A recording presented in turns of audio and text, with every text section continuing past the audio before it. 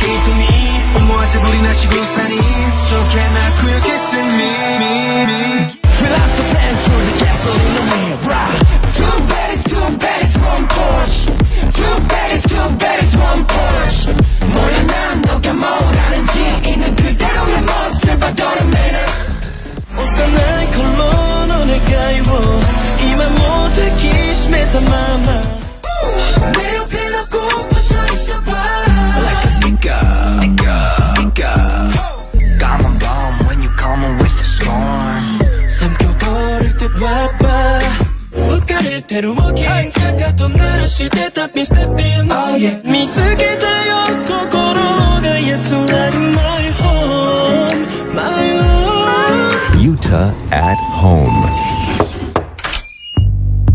僕の部屋にお帰り NCT127 ユータのユータアットホーム。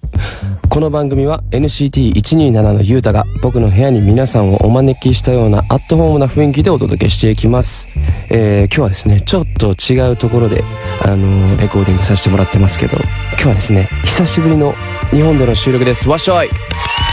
くらさんくらさんやばいということでですね1年以上経つんかな？経つかもしれないね。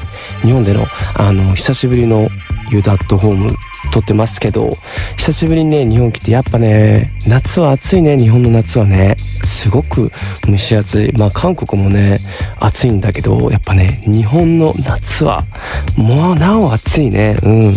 まあでもね久しぶりの日本ということで日本を満喫しながらねあのみんなにね早く僕のかっこいい姿をお届けできるようにねいろいろなことを準備してますので皆さん期待していてください。ということで今週の1曲目をお届けしましょう。ジェヨンのファーストアルバムのリード曲ですねジェヨンでスモーク Jump in if you feel it Yes Say what you say, what's your play? Tryna get caught up with you. I'm in the coupe, chill, dude. You got a few 오늘은 what you wanna do. I'm going all out. Yeah. 단둘이 맞이하는 이 오늘 밤을 너와 you. So I, I'm fooling around to come take you out. Yeah. 앨범 한 바퀴 돌리고 나누어 turn baby oh 하루를 맡겨줘 let me take you out 조명을 낮춰 the sun is going down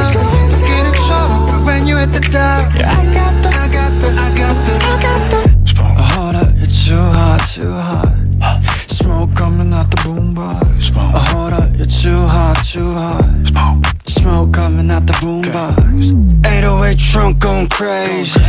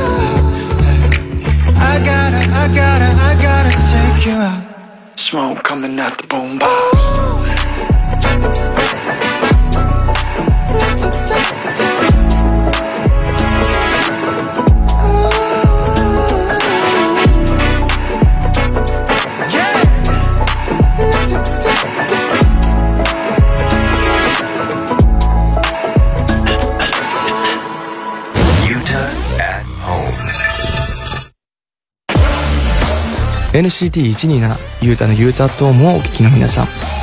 たまたまラジオでこの番組を聞いてくれている皆さん。この時間は僕 NCT127 ユータのワンポイントお知らせコーナーです。8月のテーマはレコードを擦る音。NCT のスクラッチサウンドが入った曲です。まずは NCTU で 90s Love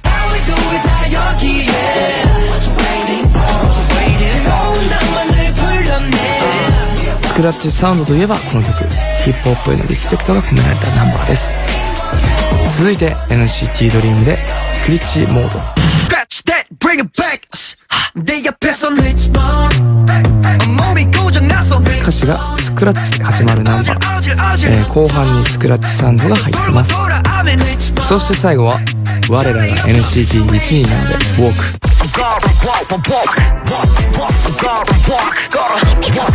ニューアルバム WALK のタイトルナンバー。後半にクールなスクラッチサウンドが入ってきます。以上 NCT のスクラッチサウンドの入った曲でした。それでは引き続き NCT127 ゆうたのゆうたトーンもお楽しみください。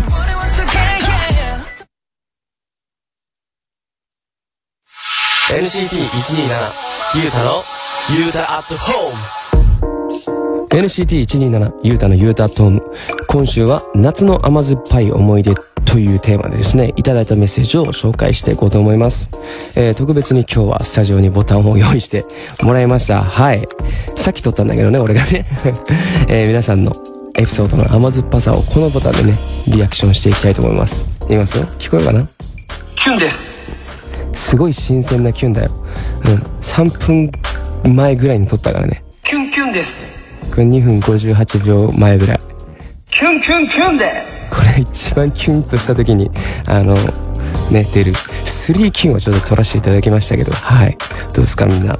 みんなのね、あのメッセージを今から読ませていただきますけど、キュンキュンキュンですよね。何個出るかちょっと楽しみにしててください。僕もね、あの、甘酸っぱいエピソードをちょうどね、聞きたかったんで、今日はね、楽しみにしてまいりました。ということで、早速、あの、ラジオネーム、とめさん。ゆうたくんただいまお帰り。えー夏の甘酸っぱい思い出ですが、もううん十年も前で甘酸っぱいかもわかりませんが、お便りします。ゆうたくんが出演した映画、ハイアンドロー、ザ・ワースト・クロスで、開始から23分くらいに出てくる、河村和馬さんと、えー、志尊淳さんの回想シーンで、ちらっと出てくるところが、実はうちの、あ、知ってるよ実はうちの近くの神社なんです。当時はフェンスもなく、えー人が来なくて、夜景がまあまあ綺麗だったり、えー花火大会の花火が見れたりしたので、たまにデートしてました。いいね。あそこすごい、いい、いい絵だよね。あの、ハイアンドロード実際出てくる時もね。そしてプロポーズもされま、いいですね。そうですか。プロポーズされたんだ。えー映画を見たとき、すぐに神社は分かったのですが、今回のお題が出るまで思い出の方は出てこず、それにしても映画の豊かな素敵でした。えーお忙しい日々をお過ごしと思いますが、夏こそいっぱい食べて、えー夏バテしないようにしてくださいねということで、キュンキュンキュンでいらっしゃいませ。えー初回から出てきたね。僕もね、すごく見て、綺麗な神社だなというか、綺麗な高台だなと思いながらね、あのシーン見させていただいてたんですけど、さってことはそういうことですよね。トメさんの旦那さんからプロポーズされた場所ということでですね。いや、いいなぁ。想像しただけで、あの、すごくキュンとしましたね。本当に。最高ですね。初回から。じゃあ次行きたいと思います。えー、ラジオネームゆうたくんの挑発大好きさん。えー私の夏の甘酸っぱい思い出は、大学のゼミ、いいですね。いいですね。またゼミ合宿がいいですね。えー夜お風呂に入った後で、完全にすっぴんだったため、T シャツの襟元を引っ張って、これさ、作ってへんよね、みんなね。作ってダメだよ。俺がさ、甘酸っぱいエピソードを募集したからって、本当、襟元を引っ張って顔を隠しながら歩いていたところ、好きな人に出くわしてしまいました。いいなぁ。なんで顔を隠してんの？すっぴん見てみたいなど言われましたが、すっぴんを晒したくなかったので、顔を隠したまま逃げました。向こうはきっとこんなことは覚えていないと思いますが、私にとっては甘酸っぱい思い出です。これはすごく甘酸っぱい、なんて言うんだろうな。学生の頃のね、あの、臨海学校しかり、修学旅行しかりね、思い出しましたね。いいよね。この男の子もさ、ちょっと、あの、ゆうたくんの超圧大好きさんのね、すっぴんが見たかったために、こう、どっか廊下でね、こう、理由を探すわけですよ。ちょっと自販機行ってくるとかさ。あの、ちょっと風に吹かれたいからとか言ってさ、あの、多分ね、俺の今ね、頭に浮かんだのはこう、男の子たちでいるじゃん。結局そういう合宿とかって男女分かれるじゃん。でも、その人はちょっとね、あの、ゆうたくんの挑発大好きさんのすっぴんを見たいがためにね、3回ぐらい、あの、部屋を出たんじゃないだろうかというね、そういうバックヤードまで見えましたけどね。いいですね。これ、両思いだった可能性もあるよね。実はね。はい。キュンキュンですこのぐらいどうでしょう？うん。じゃあ次行きます。ラジオネームまみさん。えー4歳の娘の夏の甘酸っぱい思い出を聞いてください。4歳の娘の、えー娘は4月から年少さんとして幼稚園に通っているのですが、かなりの人見知りでお友達や先生と、えーまだまだ距離があります。えーそんな娘が初めて大好きな男の子のお友達ができたようで、えー先生からもそのことは相思相愛ですねと言ってもらいます。えー先日幼稚園の夏祭りがあり、その子とツーショット写真を撮りました。二人ともピースをしていますが、二人の間に微妙な間が空いていていいですね。嬉しいけどちょっぴりドキドキしてるのかなと見ていてとても可愛かったですという、えー、マミさんからのメッセージいただきました。キュンですキュンですね、これ。うん。なんかね、僕も幼稚園の頃にね、あの、一目惚れしてね、幼稚園の頃はね、その子のことがね、ずっと好きで、だ、俺ね、サッカー始めた理由とかも、あのね、その子のことが好きで、あの、サッカー始めたんだよね。っていうぐらい、なんかね、意外と幼稚園の頃の初恋のね、あの、気持ちっていうのはな、未だに覚えててですね、なんかその頃のね、記憶もちょっとね、ぽやっと出てきてね、ちょっとキュンとしましたね。ということで、じゃあ次行きたいと思います。ラジオネーム、めぐめぐさん。ゆうたくんただいまお帰り。えー高校2年生の夏に初めて彼氏ができた時のことです。ほう。同じ学校の同級生で、もともと仲のいい友達だったのですが、それまで学校以外の場所で会ったり遊んだりしたことはなく、初デートは近所の夏祭りに行って、そこで初めて私服姿で会いました。いいね。いざ付き合ってデートとなると、距離感が全然わからなくて、夏祭りの会場まで一緒に歩きながら何を話したらいいんだろう。手っていつ繋げばいいんだろうとずっと考えていました。歩いてる途中、時々お互いの手がぶつかるたびに、いいね。あ、ごめんと言って手を引っ込めてしまったり、しばらくすると、ちょっとごめん、ニヤニヤが止まりません。ゆうた今日ニヤニヤが止まりません。えー、しばらくすると彼の方から、ちょっとぶっきらぼうに、映画や、ちょっとぶっきらぼうに手を差し出されて、すごく嬉しかったけど、なんて言えばいいかわからなくて、うんと、だけ答えて、いいねこれいいですね。初めて手を繋ぎましたと。ちょっと恥ずかしさもありね、地元の夏祭りだったので、誰かと会っちゃわないかなと、そわそわしたり、言ってなかったのかな、えー焼きそばを一つ買って、二人でシェアして食べたり、帰り道、めっちゃゆっくり歩いて帰ったり、今思い出すと少しムズムズするし、恥ずかしくなっちゃうけど、あんな頃もあったなと、ちょっと懐かしくなる、甘酸っぱくて大切な思い出です。キュンキュンキュンでキュンキュンキュンキュンキュン怖っキュンキュンキュンですもうあのーやりたかったことが全て詰まってるうん映画とアニメの恋愛映画でしか見たことないよこういうのやってみたかったな俺もちょっと手当たったりしてさこれこれこそ青春だろうっていうねあの俺の思い描いてる夢のね青春がここには詰まってましたね。うん。いやでもね大人になってもこういうことしてみたいよね。そうだからね俺ねこういうちょっとなんて言うんだろうね。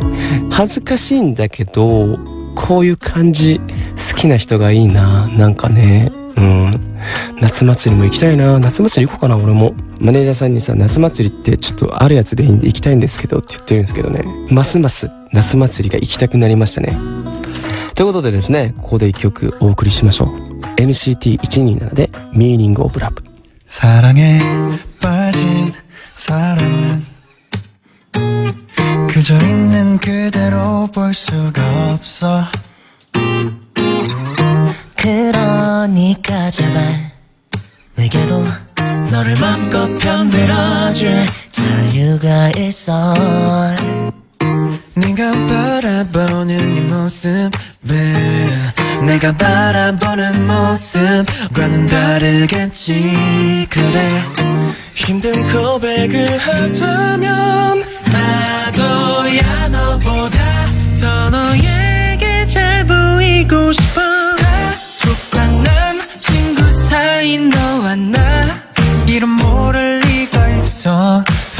상관없어 초록꽃 한 송이 사랑한단 말의 뜻을 알아가자. 모른다 해도 괜찮아. 사랑해. 말도 많고 잘도 많고 겁도 많고 욕심도 많고. 문제라면 문제 문제 없다면 없는데. 힘든 고백을 하자면 나도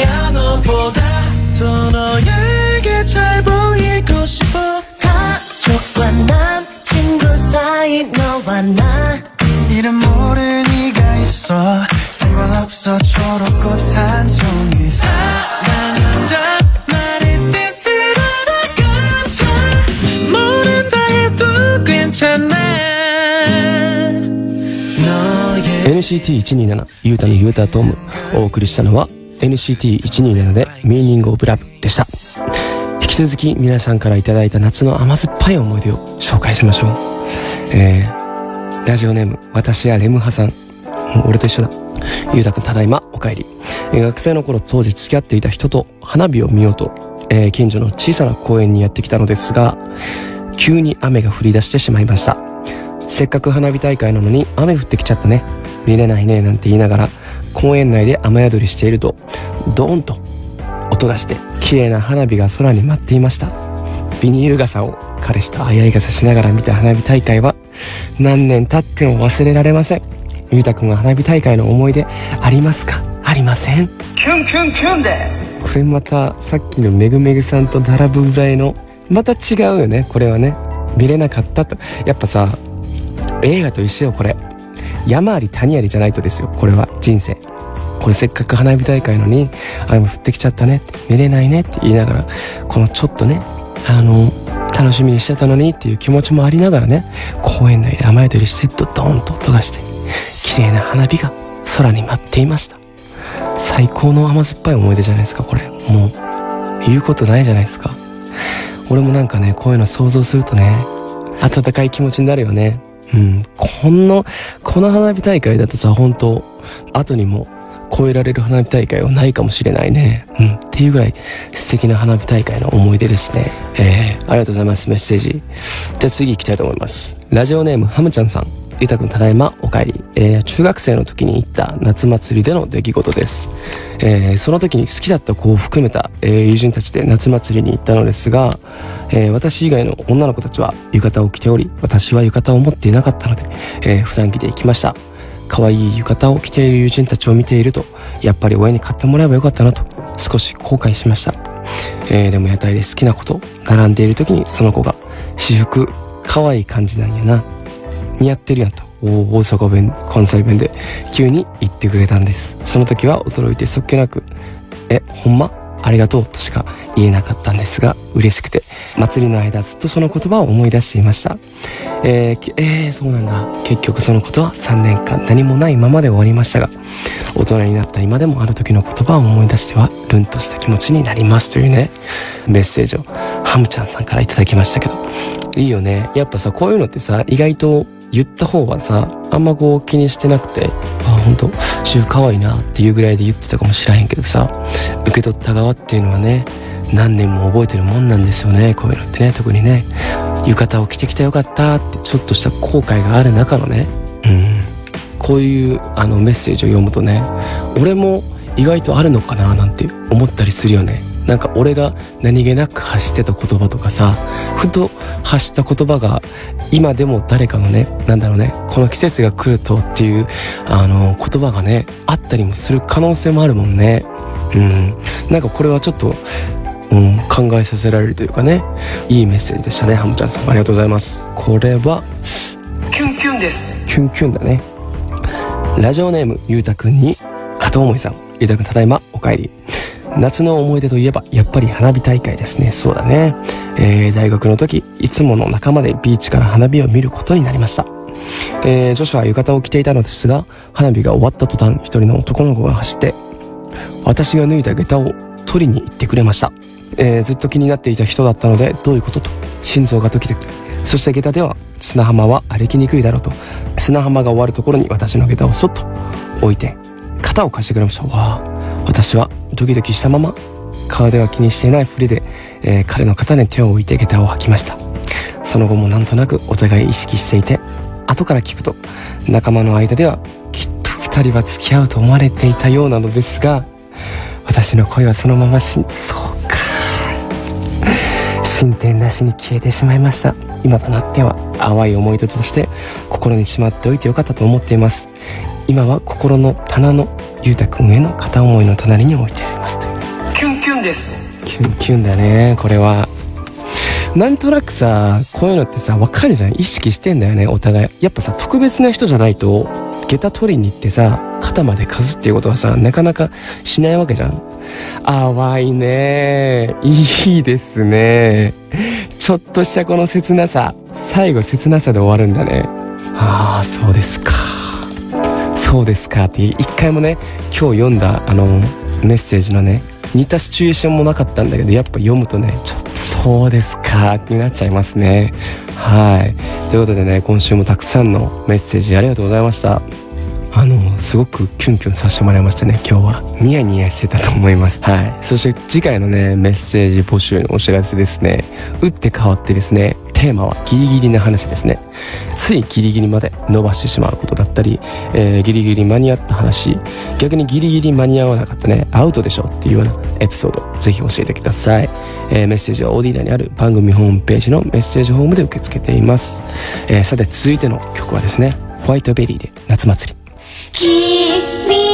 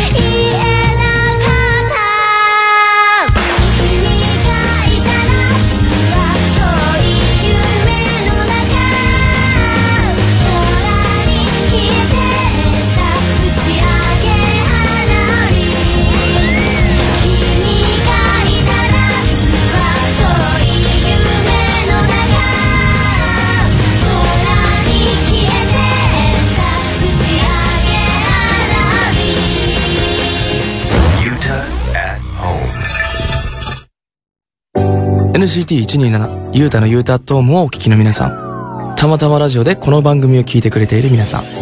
この時間はインター FM だけのスペシャルコンテンツです。番組内で紹介しきれなかったメッセージを紹介します。ラジオネームあやねさん。ゆうたさんただいまお帰り。えー、ゆうたさんは家族の誰かとお揃いのものを持ってますか？えー、私は4歳の息子とお揃いの T シャツを着ています。それが楽しくて子供と大人とお揃いになるものをいろいろと、えー物色中です。いろいろ楽しいですよと。えーお揃いの服はね、なかったかもしれないね。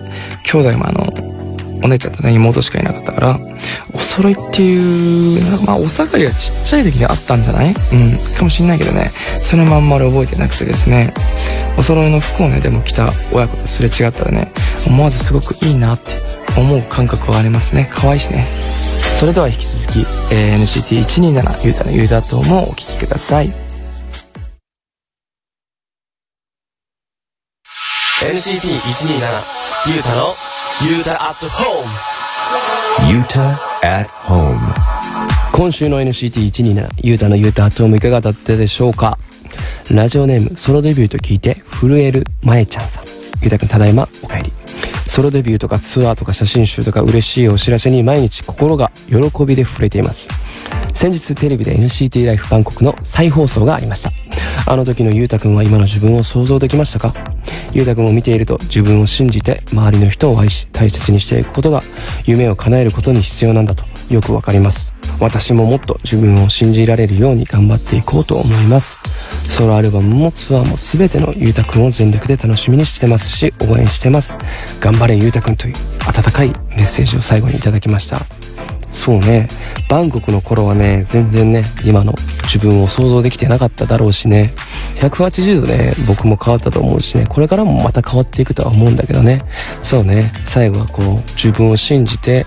でまあもちろんね周りの人を大切にしていくっていうこともね大切なんだけどそれプラスね周りの人からねこうした方がいいっていうね意見もすごくたくさんいただくんだけどその中でねどれぐらいこう自分の色を潰さずにねそのね人たちとこううまく作品を作っていくかっていうことがねソロになるとねより一層大事なんだなっていうことがね僕も最近こう身に染みて分かってきた感じですね。